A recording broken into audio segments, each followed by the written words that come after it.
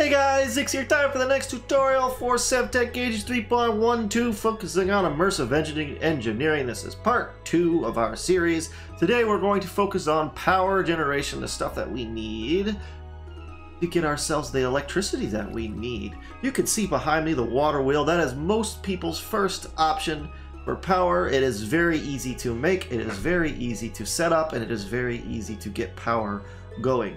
But but it doesn't move very fast, it doesn't produce power very fast, so we want to go to see what the max efficiency one is. Well, if we continue sliding to the right here, the left, the left here, you can see I've added another water, so I've moved the water source block up a little higher. You can see the water wheel is moving faster, therefore generating more power, but wait, there's more. Right here we have our max efficiency. Now, some of the tutorials online are showing water source block here, water source block there, water source block here, do this, this, then you push it. No, no, no, no, no. Just one, I'm pointing at the screen like you can see me. Just one water source block right up there. I hit F5 too many times. There we go. Right up here. Uh, you can see I put a block there because we don't want the water coming down. This goes all the way down. We have another block right here so that this little kick out right here pushes it a little bit faster. That right there is as fast as we're going to get uh, with the water wheel. Uh, so as we proceed through this tutorial, I am going to be doing cut breaks as I move. Uh, so we're going to go ahead and we're going to start that right now. Be right back. Okay, next we have ourselves the windmill. It's a little bit more labor intensive to make than the watermill. However, it's not too bad. It's just these treated wood planks. They can be a little scarce if you haven't been saving up your creosote oil, like I hope you are. And one little iron ingot here, and then in the windmill uh, is could be made with eight of those blades. Relatively simple. Since we are on a custom flat earth, we are at Y like 2. Uh, and so this is about at least efficient possible that you could put a windmill because I don't know if you can tell, it's moving a little bit faster. The higher up you go, the faster the windmill, windmill moves, the more power it's going to generate. Of course, it starts raining. Like I so. And in the rain, it moves even faster. Now you can see, look how fast that guy's going. Uh, so we're not actually going to clear the rain because we're going to go and we're going to kind of look, see at this. Uh, so that's actually producing power quite quickly. Now, if the weather, the rain, it's actually really good timing that the rain started. Um, now, when the rain stops, it's not going to be producing quite so quickly. Ooh. Also, let's go down here for a comparison. Uh, it's still going pretty fast because of the rain uh, the, because of the wind, rain and causing the extra wind. But believe me, the higher up, the faster they go. You can almost kind of see it uh, as I was, I was flying up. It's harder to tell in the rain because they're all moving pretty quickly now. Uh, but that's the windmill. The windmill, especially when you get quite a few of these going, it can be a little costly, the amount of creosote oil you will need for the amount of treated wood that you will need, um, as opposed to the water wheels. Uh, however, it's not impossible to do, uh, and it's not a bad idea to have a mixture of water wheels and windmills uh, in the early stages. Um, but next, we're going to look into the next source of power, uh, and then we will do so right, right now. Right back. I almost forgot an important part. Uh, you can actually increase the efficiency of your windmill by adding windmill sails, which again is a little cost effect. It's a little not super cost effective, however. Right click like so. Oh, it used that up, didn't it? Okay, that's okay.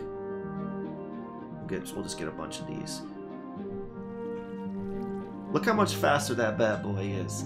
Uh, this is going to greatly increase the power production. But now, look at that guy go. So one of the, a couple of these guys and some water wheels is going to be enough to get your early stuff powered up. Uh, so now, for real this time, be right back. The next power generation we have, the next reasonable step, is the thermolytic thermoelectric generator. This guy works by putting a hot source opposite of a cold source. And it's actually fairly easy to do. Uh, so we go like so. We get our capacitor. We get our connectors and we hook them up. Couldn't be simpler. Now, this doesn't produce super fast uh, when you do just two, so we're going to go ahead. We're going to double the output.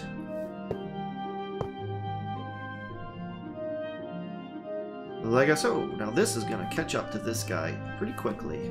see. Because it's going to be producing at double. You can already see it's it's gonna it's gonna surpass it very soon. Maybe once we get to 10,000 here.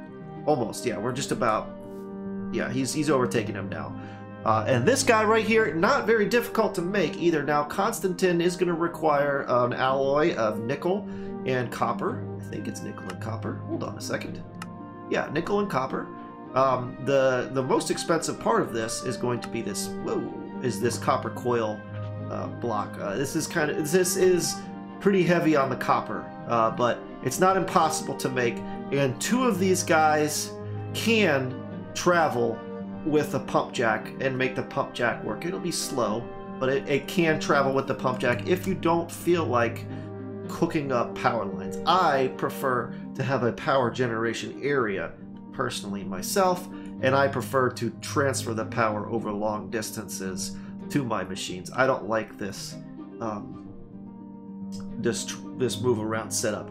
Uh, but uh, yeah, uh, and then now next we're going to get into oil processing. We'll Be right back. Okay, next we're going to get into oil processing. To do so, we need this core sample drill. Uh, not too expensive, but it is a little heavy on the steel. Uh, and of course, these iron mechanical components, you're better off making in the engineer's workbench with a blueprint uh, because it is cheaper than creating them just in a regular old crafting window. But of course, if you want to, you can waste your iron. That's fine with me, I don't care. So now we have ourselves our capacitor, something I did not mention. In the previous episode, when you right click with your, your hammer, uh, it's going to change the input output or turn it off completely. Blue is input, orange is output. Make sure you're set to orange if you're doing it this way. We're going to hook up our wire. Power's going to go in there real quick. We're going to right click with an empty hand and you're going to see this core, core driller going down. It's pretty cool. I actually don't know if this will work on a flat world, but I'm sure it will. We'll come all the way up, right click again, and we will get a core sample. You can see uh, it is stone. It is stone. Now, if you want, we have the core stand, which I forgot to put in my inventory. That's not a big deal. We're just going to throw it on the ground. There you go. There's a core stand that you can put out, which is not a terrible idea. Uh, but once you figure out which which one you're going to be in, hold on a second, I better change. Here we go. Before we sit here and uh, run out of stuff, run out of power, we want there's well, there's three things that you can get um, that are important. You want power. Thank you. You want water. You want oil, and you want lava. Lava is not the most important thing in the world. Uh, however, it's nice to have an infinite source of lava. What do we get? Cinnabar vein. No fluid. Not helpful. Not helpful at all. That's okay. Oop, no, no, use the hammer We're gonna try here. I want to get one of the three important ones before we proceed. Also, when you're looking at the core sample, it shows the F9. You don't have to hit F9. It shows the chunk border for you. What do we have? Nothing. Absolutely nothing. If I don't get one pretty soon here, I'm just going to skip ahead. Power up! Come on, baby. Give us what we need. Give me the fuel. I want lava. I want water. Or oil. Give it to me. Stone. Again. Fantastic. You couldn't help me out for the purposes of a video, could you, game? Just couldn't do it. Just, whoops, too close. Back her up. No, not back rub. Back her up. I give those to my wife all the time. Come on, give me what we're looking for. Show me what you're working with. Oh. One more. one more, and then I will go ahead and do and find uh, what we're looking for off camera. I thought that hemp over there was a creeper, but I'm in peaceful.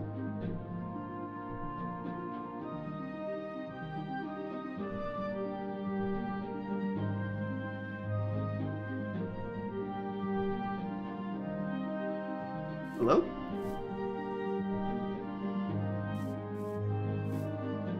Okay, that one completely glitched out. I think I clicked it before it was powered up, maybe?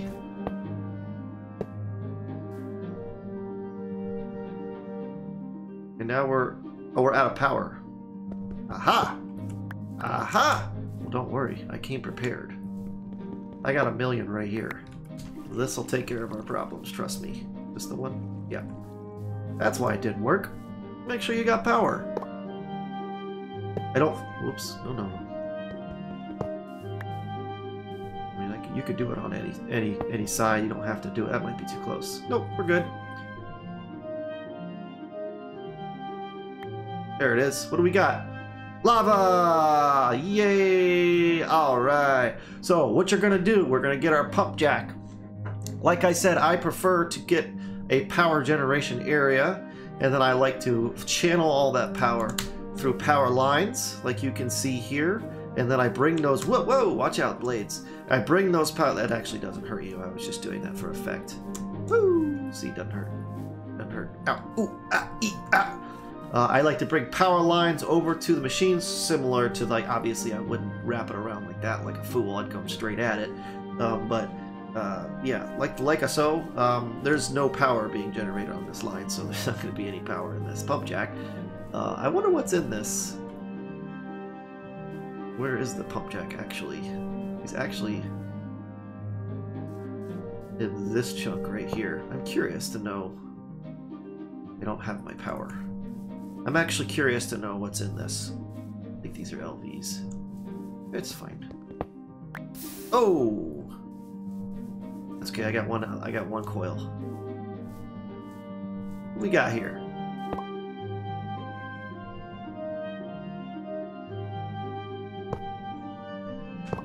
Maybe I can pump something here and not need to.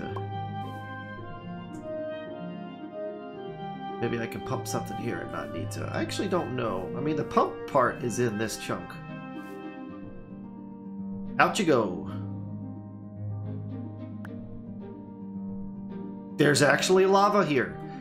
There's totally lava here, so we don't have to move this pump jack for lava anyway. We don't need lava uh, for the purposes of this video. Uh, the only thing you need lava and immersive engineering for is these guys, and you can use a, a, just a static source. You don't need, uh, you don't need uh, re repeating lava. I like to have lava simply for a Tinker Smeltery, so that I always have a Tinker Smeltery ready to go. Um, then and, and, we're all set. Okay, so I'm gonna get go ahead and get ready. Uh, I'm gonna find uh, an oil. There's got to be oil somewhere. Uh, and then we're to proceed uh, to the last step, which is going to be distilling oil into diesel, and then the diesel generator, which is the best power source that we're going to have. Be right back. Okay, here we go. We have found ourselves an oil resource. By the way, shift right click is how you place it. Whoops, yeah. This is how you place the. We're in creative, so it's how you place these. And then you can shift, as you saw you can shift right click it again uh, if you placed it in the wrong chunk uh, to go ahead and uh, mark where you've been. Because you're not going to make 18 core, drill, drillers. You're going to make one and you're going to move that guy around. So you put these samples down in each chunk so that you know you can be certain, there it is, so you can be certain that uh, you're not uh, doubling up in the same chunk. Okay, so I went ahead and built the pump jack. I've already built it before. Watch the last tutorial if you don't know how to. We've hooked up the power. Let me show you what we've done. Let me show you something. I went ahead and I made six of these guys. Very easy when you have creative. And I hooked them up to these little power plant uh, power holders here. I know that you don't need to do this. I just like to. Uh, I like to store excess energy.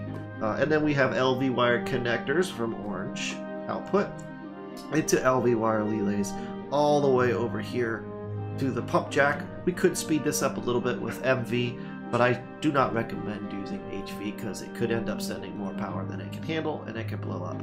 You said more than 1,024 per tick, this will blow up. It's a bad day. Anyway, we are pumping oil. You can tell because there's oil. I wonder why we waste so much. Anyway, it ejects on both sides, uh, so you can pump it in two different directions. I like to pump underground. We're just going to use steel just to show where the pipe is. And I like to pump into the bottom of the tank. You can pump into the very bottom there. Um, this just uh, makes the world a little bit cleaner as you're walking around. Uh, of course, you wouldn't use steel.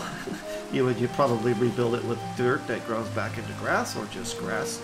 Uh, pumps into here. You can see there's a little gauge right here showing you how much is in there. Uh, and then when we're ready to proceed, we're going to pump this out. But you guys are going to have to stay tuned to the next episode in order to see what to do with this oil. That is enough for this tutorial. Quick recap. Maximum efficiency water mill. Maximum efficiency wind windmill in the rain. Good timing yet again. Up as high as you can put it. Um, it can be a little bit of a pain, painful process getting the power down, but if you put your LV wire, uh, your relays on the side of a block, it can be easy. Like you have your your guy up here, and it comes to like this, and then it comes to like this, and then like that, and like that. That's how you can bring it down, uh, or you can just bring it straight down. You don't have to zigzag it.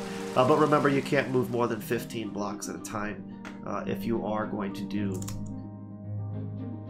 that step.